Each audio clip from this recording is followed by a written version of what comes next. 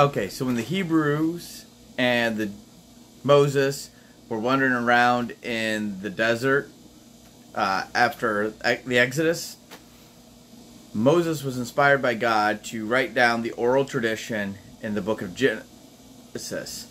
Um, or that was the book of Genesis. He wrote down the other four books of the uh, Pentateuch too. That's why they call the books of Moses.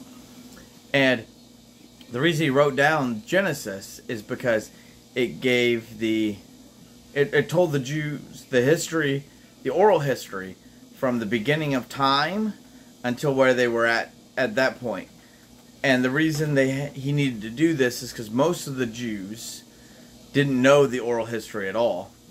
They uh, had been slaves in Israel for so long, or in Egypt for so long, that they only knew the Egyptian religion and the Egyptian traditions. Now we'll discuss later, as we go through, as I go through the Bible, um, how Moses knew the, this oral tradition that he wrote down in Genesis when he grew up in Egypt, and not only did he grow up in Egypt like the rest of the Hebrews, he actually grew up in Pharaoh's household, so he had even less exposure to the Hebrew tradition than the average uh, Hebrew did. But anyway, so he wrote down the book of Genesis. And or the book of Genesis was designed to correct those the incorrect oral traditions of the uh, pagans. So most are all pagan religions at that time. Pretty much a lot of them now teach something similar. But the pagan, ancient pagan religions taught that the earth and the heavens always existed, and the gods always existed, and usually as a result of some sort of fight, like uh, God fighting a dragon, or two gods fighting, or something like that. Somehow, accidentally, humans were created from like the blood, spilled blood of the dragon, or other ways like that. And they believed that, like, since I live in Mishawaka, the gods of Mishawaka made me, and like people that live in New York, the gods of New York made them, and that we're all equally, or we're all humans. And if one person moves to another one, they can be adopted into that new tribe. So that they knew we were all the same species. They wouldn't have used that word. But they thought we were created differently and therefore different, and that was the reason why you had a lot of uh, wars, and you'd have like two nations that had similar gods would a lot of times team up against other nations who had completely different gods. And uh, that that was a lot of like ancient racism they again that's not a very accurate term, but that'll work for this discussion. Was because of those creation myths. So then Genesis 1 1 was written in the beginning, God created the heavens of the earth. So it explains that no, the heavens and the earth didn't already exist. God existed. And God created the heavens and the earth. And God also created the angels, and including the ones that eventually fell and became the false gods. And we'll discuss how that happened down the road when we get to there. And then, uh, God, as you go through the creation story, God creates all humans. And then later you get to the Tower of Babel, where all the humans are split and go their separate ways with their separate language. And that's how we get the different races and stuff.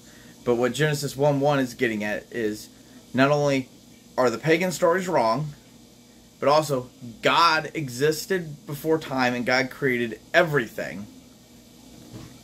And he's the most high, he's the king, ruler of everything because he created everything, everything's in his domain, and he created all people the same, which means all people can be saved, all people can go to heaven, and God loves all people equally. Now, he does from time to time choose, like, he chose the Israelites for a special mission to be to guides to the world to show other nations how to become how to follow God, and they screwed that up. And then he also Christians are supposed to do the same thing and show other people how to follow God and be, uh, the way to become loved by God. Well, the way to become part of God's family again and not be an enemy of God anymore. And again, Christians screw that up, just like the ancient Israelites do. So, uh, what I'm getting at here is, or and then also before I re, do a re, uh, summary. Also, this is the start, and it was a very, very, very long road of all people are equal, and we shouldn't be judging people based on race. Now, did the ancient Israelites do a good job of that? No. Did early Christians do a good job of that? So, on a rare occasion, yes, but as a general rule of thumb, no. But after the 8,000, 6,000 years, well, about 6, 5,000 years since Moses? No, that's not right. Two, four, five, four or 5,000 years since Moses was around. Uh, we've slowly been working that way. We should do more. But this is the basis of where we get that all people are created equal is Genesis 1 1. That's where it all starts. So, uh, I'm not going to go any more detail. Like I said, there's a lot of little details in this that will that I mentioned. That as we go through the story, we're going to cover go through the Bible. We'll cover more and more of those little details as we go. So if you'd like to join me in reading the Bible. I'm gonna put a link in the comment section or in the uh, yeah, I'll put a link ping put a link in the video description and a pinned link in the comments on the uh, YouVersion Bible. You can join me in the Bible study on there when I'm going as I'm going through the Bible chronologically this year. Uh, so if you want to join me there, if not, like and subscribe so you can see more of these videos. And thanks for watching.